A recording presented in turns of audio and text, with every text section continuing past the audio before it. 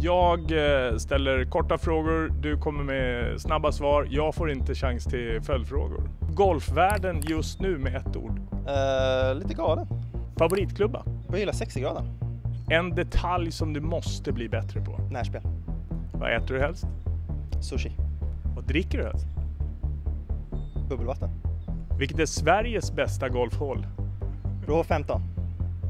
Vad behöver du inte bli bättre på? Uh, utslag.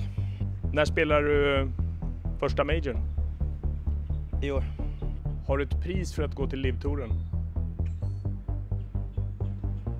Har inte ens tänkt på. Är det ett svar? Ska vi räkna det som ett svar? Ja. Okay. Vad är du gladast över just nu? Uh, livet. Vad är du arg över? Är du det? Över något? Jag kan inte svara med ett ord, men att jag behöver bli bättre människa. Du gillar kaffe, varför? Det är gott. Vem är världens bästa spelare? Jara. Vilket är ditt favoritavstånd? 1.58. Alltid på fairway eller aldrig mer än tre putt? Aldrig mer än tre putt. Vems sving skulle du betala en miljon för? Tiger Woods. Vem blir nästa herr-svensk att vinna en Major? Uh, Vincent Norman. När? Nästa år. Två år. Två år.